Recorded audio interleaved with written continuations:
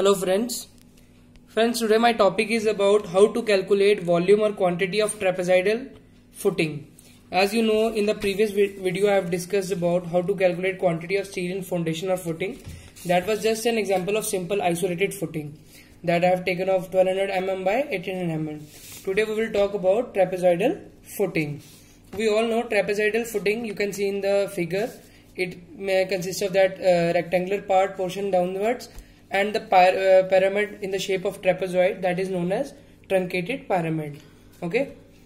Then trapezoidal footing would be equal to rectangular part plus truncated pyramid.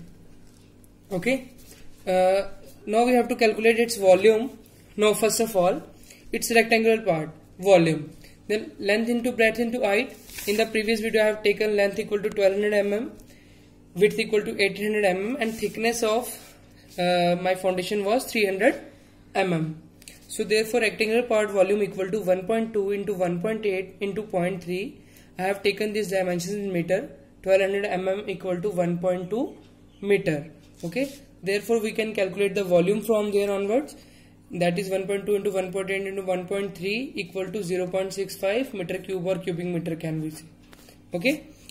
You see in here trapezoidal footing truncated pyramid plus rectangular part truncated pyramid uh, width is 500 mm okay? Now uh, volume calculated now formula for truncated pyramid. Uh, truncated pyramid has a formula 1 upon 3 into a1 plus a2 plus uh, square root of a1 plus a2 into height. Now you can see here this is my pyramid.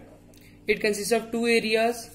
Area one and one this is area area 1 and second area is area 2 seen okay? Area 1 and area 2 for I have told you uh, height is equal to 500 mm here okay? Now now area bottom area area A1 okay? Area A1 is this part. Area A1 is this part okay? Then we have the dimension area of bottom area equal to length into breadth. 1.2 1.2 into 1.8 again. Okay from rectangular part. Area of bottom is uh, can be calculated length into breadth 1.2 into 1.8 2.16 meter square. Then area of top area 2 this area 2 of pyramid exactly. Length into breadth. Now you can see here. Okay this is column inside. Okay this is our trapezoidal footing. Okay this is its length and width. The area can be calculated length into width 0.5 into 0.6 0.5 into 0.6 600 mm and 500 mm. 500 mm equal to 0.5 meter and 600 mm equal to 0.6 meter.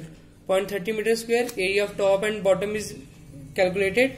Now truncated pyramid 1 upon 3 a1 plus a2 plus square root of a1 a2 into h. Okay? 1 upon 3 into area 1 2.16 area 2 0.30 2.16 plus 0.30 plus this.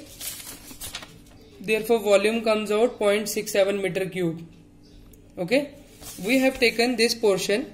When we take the area of this portion volume of this portion this area is automatically detected. This area and this area.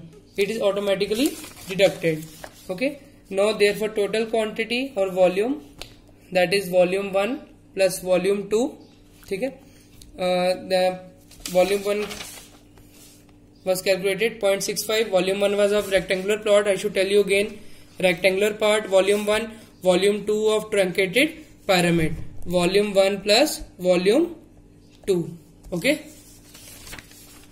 volume 1 was calculated 0.65 and volume 2 was 0.67 from this formula. Therefore, our total volume comes out to be 1.32 meter cube or cubic meter.